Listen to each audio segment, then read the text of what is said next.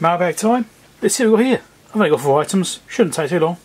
There'll be links down below for these things if I can, if it's applicable.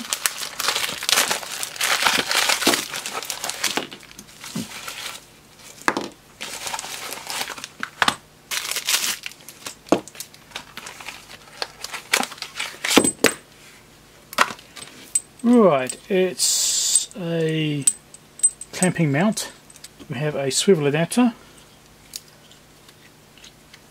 which is a lot like what I use on my camera here. Only one I've got is a bit beefier than this one, I think. And then we've got a couple of little threaded adapters, quarter inch to whatever the hell the other one is. I don't know what it is. Whatever that bigger size is, I don't know. It fits in there, like that. Cool. Anyway, so the idea is you can clamp this onto something and you can mount a camera or other device which fits into this particular mount. And obviously with this pivot you can ball joint it anywhere you want. Now I actually have a use for this which is running live stream cameras at an event. So I actually want to do some work at an event where I'm live streaming multiple rings at once. So this event is held in rings and I want to run multiple cameras at the same time and try and overlay and merge them all together and stuff like that and do a live stream. Not on my channel but on a, another channel. But mounting the cameras is a problem. I was thinking if I get some of these clamp mounts, it gives me some options but I can put these cameras, I can put them onto anything basically, I'll clamp them on anywhere and just put position cameras where I need them. And it should do the job. So I thought I'd get myself some of these because it should be good enough. Hopefully anyway. But I was wrong. I got more than four. It's a bag of packages. And just like that, we've gone from having four packages to having seven packages. That's much better. Right, what's in here? So I showed these in maybe it's the last one or one before that, I'm not sure. I've got some of these things. But somehow I'd, I'd got the wrong one. So I actually wanted metric ones. Ones that actually arrived were imperial. So imperial's fine if you live in an imperial country you're used to using imperial. I'm a metric person. So on here we have a millimetre scale. And it steps up one millimetre on each, so it goes up and up and up. What you do is you push this into your tyre, not obviously into the tyre, but you know, into your tyre groove and your tread. And depending on the depth of this, that's the depth you get over here, in theory. Alright, so you shouldn't go below 1.6 millimeters. It's also got 30 seconds on it as well. This has got both scales. So the other one, which I got, was only 30 seconds on all sides, and this one's got metric as well. It feels like it's got an O-ring inside here, which is what makes it slide and just grip on quite nicely. Gives a nice resistance. Yeah, if I go to zero, that zero there, and there you go, there's a zero mark. It's not perfect, but it's going to be give you a reasonable indication, isn't it? It's cheap, couple of bucks.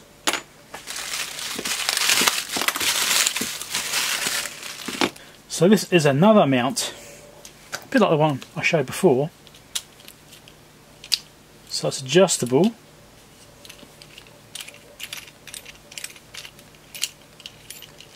In some form. Yeah, you unscrew it like that. Okay. And then it's got a clamp on it, so you can clamp it on instead of having to unscrew it the. That could be handy. And it's got this uh, pivoting joint just like this. It doesn't have the 360 degree, well, multi-universal. It's got a universal joint pivot. This has just got a hinging pivot. So it's not quite as good as that one that way. But this could be one which is quicker to get on and off. You know, you have it latched like that and then clamp it onto something which is hopefully suitable for it to adjust by. I don't know if it will adjust by that much though. I don't know, maybe. I've got a few different ones because the ones quite sure I was going to use. As is often the case. I get carried away.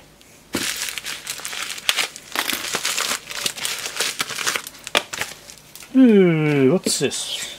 USB sound card. I vaguely remember something about this, I don't know exactly what it was. So it's got a USB A port, standard type, not a USB 3. Um, it's got headphone, microphone, and headphone again. So that's just headphones only, that's only microphone, and this is a headset which has got microphone built into it as well. You can probably see the markings there. Now there's a reason I got this. I don't remember what it was, but there was a reason I got this. I think it was something to do with the live stream thing, which I was saying about these camera mounts. I think I was what I had in mind is maybe using one of my existing mics and rigged it up outside as well, so you can get like the sound from the event as well.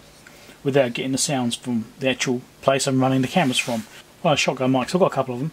Not very good ones, but they, will work. And I think they've only got a standard audio output on them, so I could potentially hook it up to this and see how well it goes. But I'll use another USB port, and my Mac only has two USB ports. What does it say about it? Yeah.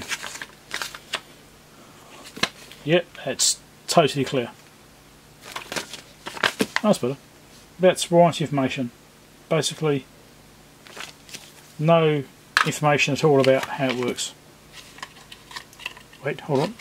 Is there more? There is, but it won't come out. There we go.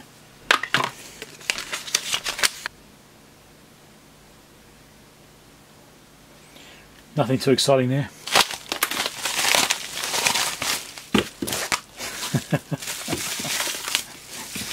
uh,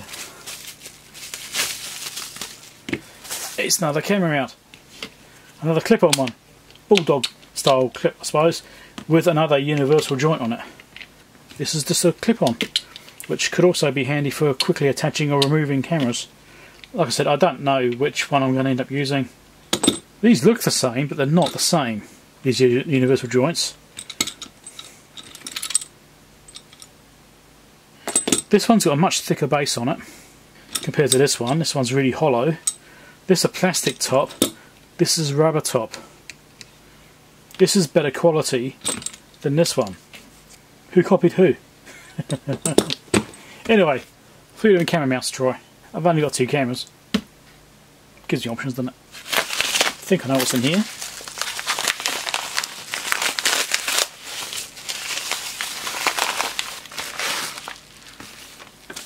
Little bag as well, it's nice.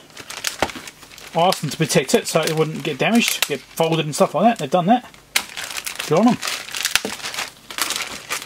Defpom approved. Put a cardboard backing on it, which is also what I asked for. Nice.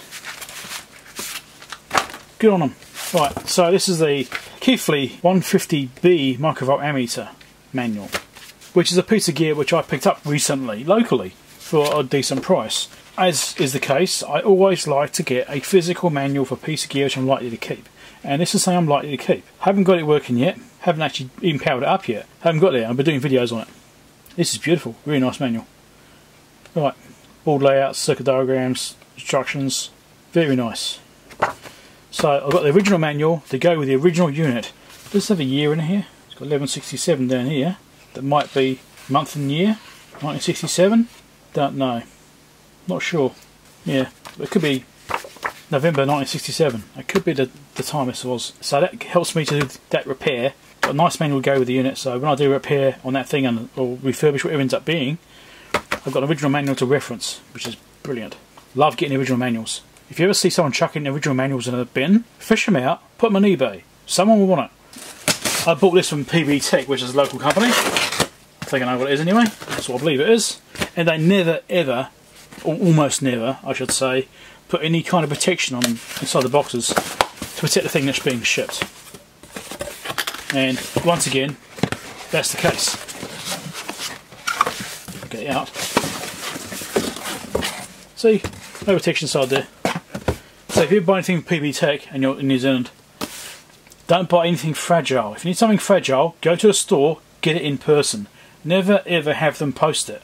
Because they always either put no protection or insufficient protection in there. I've had hard drives turn up with nothing in them. Just a hard drive right inside a box. I had to make a claim with it once, that was a nightmare. Anyway, so, Blue Yeti.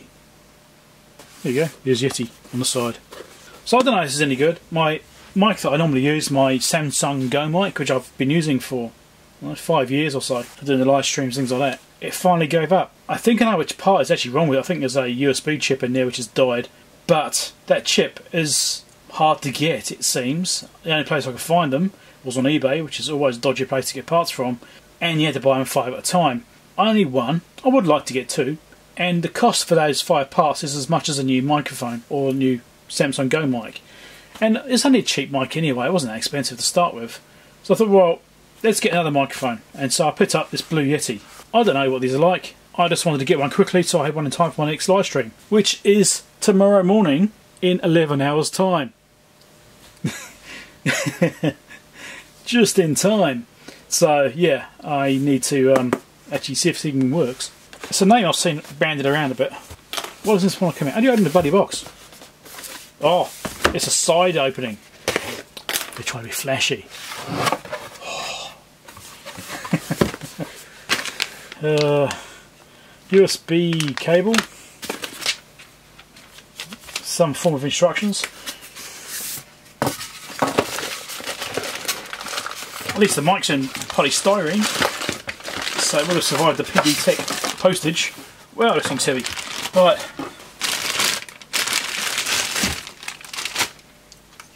It's got these big threaded fittings on the bottom there too, if you want that.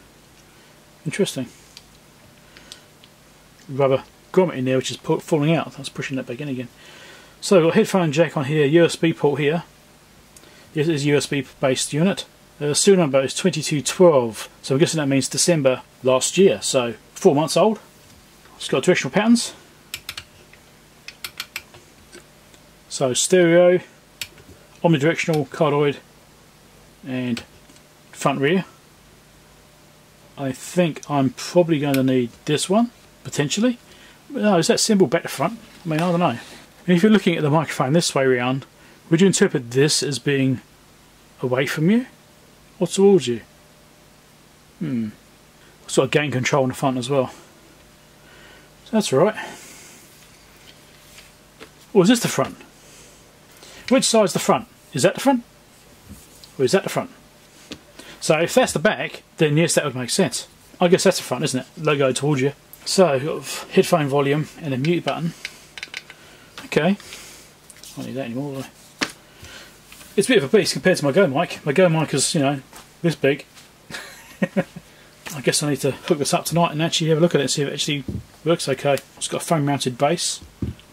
Rubber mounts on the sides here. The only other mic I've got right now is at the back of the desk here behind everything. It's a Saramonic mic. Sitting in the back of there, you can see a little green display going on for that. I've done a review on that mic, I got it from Banggood for free a couple of years back back when I actually used to do stuff at Banggood. Try and get stuff out of them now. It's like trying to get blood out of stone. Can't get anything now. That's what I've got over here. So what I actually did have set up was the Saramonic over here. So when I'm sitting at this bench doing my live streams, we've got the Saramonic over here. So when I'm sitting at this bench and I've got the camera view set up to this bench, it's using this microphone. So it's the one closest to me. And then I'm at my computer doing like the face cam thing on the computer there and you know people can see my face and stuff on it. Then I had this Samson Go mic over that side. So I switched from one mic to the other. So this was going to replace Samson Go mic, obviously because it's failed. It may work so well that I don't need this one. I might be able to do like stereo on it or something. And then convert it back to mono and OBS maybe. I don't know if I can do that. Or do the two-way front-rear thing and maybe angle it both ways so it gets me front and back. I have to play around with this thing, to see what actually works. But I might not need to have two microphones. Maybe go back to using one microphone if this can handle the patterns nicely. Omnidirectional tends to be a bit echoey but if you've got front and rear, then I could probably face it in a way so that when I'm at the computer, it's facing towards me, and then at the back of it, it's facing towards this desk. Maybe I'll do something like that. Check out other videos down below there. Subscribe over there if you're not already subscribed. Patreon support link over there if you feel like doing that and helping me to buy things like new microphones. This thing wasn't cheap. A couple hundred bucks for this thing.